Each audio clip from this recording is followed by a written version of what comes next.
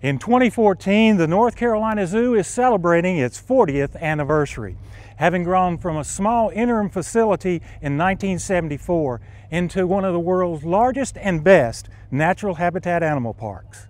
To celebrate 40 wild years of family fun, the zoo is hosting a weekend of special events featuring musicians, puppet shows, dance troupes, and much more, as well as the opening of two new exhibits.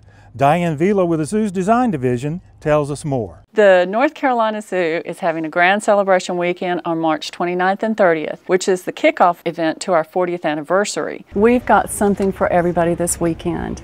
We've got Big Bang Boom coming, and they are a high energy, kid friendly rock band. We've got Zoopendous, which is a women's group that's going to be entertaining us. We've got a puppet parade in the Kid Zone. We've got the Healing Force coming, again, a very popular group with zoo visitors. Sugarfoot Productions. They'll be doing their dancing in Africa Plaza. We're going to be having magicians, so it's just going to be a festive weekend. For that opening weekend, we have Kid Zone, which is a completely remodeled children's nature play area.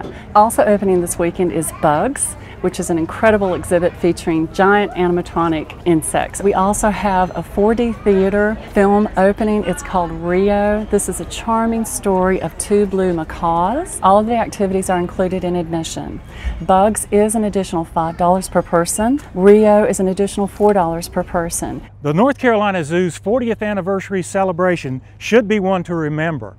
If you'd like to join in the fun or want to learn more, visit our website at nczoo.org. I'm Rod Hackney reporting for the Zoo Files, connecting your life to wildlife.